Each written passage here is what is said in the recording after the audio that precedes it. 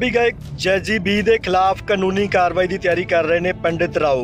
ਪੰਡਿਤ ਰਾਓ ਜਿਹੜੇ ਕਿ ਪੰਜਾਬੀ ਮਾਂ ਬੋਲੀ ਨੂੰ ਲੈ ਕੇ ਹਮੇਸ਼ਾ ਆਪਣੇ ਆਪ ਨੂੰ ਜਿਹੜਾ ਸੁਰਖੀਆਂ ਦੇ ਵਿੱਚ ਵੀ ਰੱਖਦੇ ਨੇ ਤੇ ਜਿਹੜੇ ਭੜਕਾਹਟ ਤੇ ਲੱਚਰ ਤੇ ਨਾਲ ਹੀ ਹਥਿਆਰਾਂ ਨੂੰ ਪ੍ਰਮੋਟ ਕਰਨ ਵਾਲੇ ਜਿਹੜੇ ਗੀਤ ਨੇ ਉਹਨਾਂ ਦੇ ਖਿਲਾਫ ਹਮੇਸ਼ਾ ਮੈਦਾਨ ਦੇ ਵਿੱਚ ਡਟੇ ਰਹਿੰਦੇ ਨੇ। ਚੰਡੀਗੜ੍ਹ ਦੇ ਕਲਾਗ੍ਰਾਮ ਦੇ ਵਿੱਚ ਕ੍ਰਾਫਟ ਮੇਲਾ ਚੱਲ ਰਿਹਾ। ਹਰ ਸਾਲ ਕਰਵਾਇਆ ਜਾਣ ਵਾਲਾ ਕ੍ਰਾਫਟ ਮੇਲਾ ਇਸ ਵਾਰ 10ਵਾਂ ਕ੍ਰਾਫਟ ਮੇਲਾ ਹੈ। ਆਖਰੀ 2 ਦਿਨ ਬਾਕੀ ਨੇ। ਹਰ ਰੋਜ਼ ਰਾਤ ਨੂੰ ਇੱਕ ਜਿਹੜਾ ਪੰਜਾਬੀ ਗਾਇਕ ਹੈ ਜਿਹੜਾ ਆਪਣੀ ਕਲਾ ਦਾ ਪ੍ਰਦਰਸ਼ਨ ਕਰਦਾ ਆ ਅੱਜ ਜਿਹੜਾ ਜੈਜੀ ਬੀ ਨੇ ਉੱਥੇ ਆ ਕੇ ਆਪਣੀ ਜਿਹੜੀ ਗਾਇਕੀ ਦੇ ਜਿਹੜੇ ਉਹ ਜ਼ੋਰ ਜਾਂ ਜਿਹੜੀ ਕਲਾ ਦਾ ਪ੍ਰਦਰਸ਼ਨ ਕਰਨਾ, ਪਰ ਜੈਜੀ ਬੀ ਜਿਹੜੇ ਕਿ ਹਮੇਸ਼ਾ ਪੰਡਿਤ ਰਾਓ ਦੇ ਨਿਸ਼ਾਨੇ ਤੇ ਰਹੇ ਨੇ, ਹੋਰ ਬਹੁਤ ਸਾਰੇ ਸਿੰਗਰਾਂ ਦੇ ਵਾਂਗ ਜਿਹੜੇ ਹਥਿਆਰਾਂ ਨੂੰ ਪ੍ਰਮੋਟ ਕਰਦੇ ਨੇ, ਜਿਹੜੇ ਜੱਟਵਾਦ ਜਾਂ ਬਦਮਾਸ਼ੀ ਵਰਗੇ ਜਿਹੜੇ ਗਾਣੇ ਉਹਨਾਂ ਨੂੰ ਪ੍ਰਮੋਟ ਕਰਦੇ ਨੇ, ਪੰਡਿਤ ਰਾਓ ਦਾ ਕਹਿਣਾ ਵੀ ਉਹਨਾਂ ਦੇ ਖਿਲਾਫ ਉਹ ਕਾਨੂੰਨੀ ਜਿਹੜੀ ਕਾਰਵਾਈ ਆ, ਉਹ ਕਰਕੇ ਰਹਿਣਗੇ। ਪਰਚਾ ਦਰਜ ਕਰਾਉਣ ਦੀ ਤਿਆਰੀ ਦੇ ਵਿੱਚ ਨੇ ਪੰਡਿਤ ਰਾਓ। ਕ੍ਰਾਫਟ ਮੇਲੇ ਦੇ ਬਾਹਰ ਹਰ ਰੋਜ਼ ਪੰਡਿਤ ਰਾਓ ਰੋਜ਼ਾਨਾ 5-6 ਘੰਟੇ ਜਿਹੜਾ ਆਪਣਾ ਇਸ਼ਤਿਹਾਰ ਹੈ ਜਿੰਦੇ ਉੱਤੇ ਲਿਖਿਆ ਹੁੰਦਾ ਵੀ ਅਸ਼ਲੀਲ ਸ਼ਰਾਬੀ ਅਤੇ ਹਥਿਆਰ ਜਿਹੜੇ ਗਾਣੇ ਨਾ ਗਾਓ, ਨਹੀਂ ਤੇ ਕਾਨੂੰਨੀ ਕਾਰਵਾਈ ਕੀਤੀ ਜਾਏਗੀ।